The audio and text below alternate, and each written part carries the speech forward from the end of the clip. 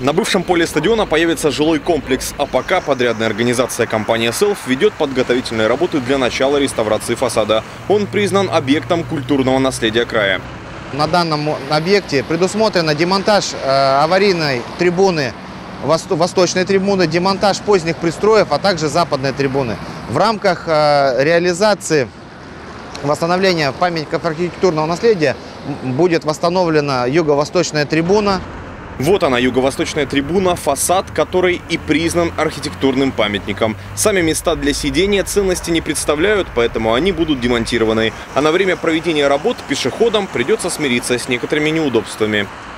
Вдоль строителей мы перекроем э, тротуар полностью. Вдоль э, привокзальной будет организован тротуар, тротуар с навесами в соответствии с требованием нормативных документов. Жителей города просим отнестись с пониманием временным неудобствам, так как впервые в истории города Барнаула часто инвестор берется за восстановление столь большого памятника архитектурного наследия.